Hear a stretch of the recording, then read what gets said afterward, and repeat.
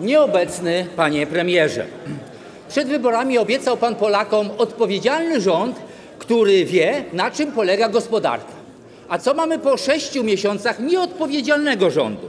Co chwila zwolnienia grupowe.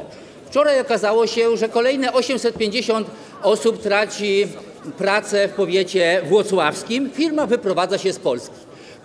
Podobnie, jak firma Vinci, która e, będzie inwestowała w lotnisko na Węgrzech, bo Węgry będą miały największe lotnisko, największy hub przesiadkowy w Europie Środkowej. Węgrzy mogą mieć największe lotnisko, a pan minister Lasek z panem nieobecnym premierem Tuskiem ustalili, że Polska nie może mieć takiego lotniska. Szanowni Państwo, z Polski wyprowadza się również firma Toshiba, która produkuje pompy ciepła. Ostatnie szaleństwo Komisji Europejskiej.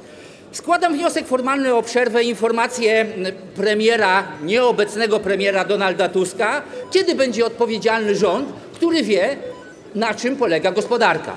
Dziękuję. Dziękuję bardzo.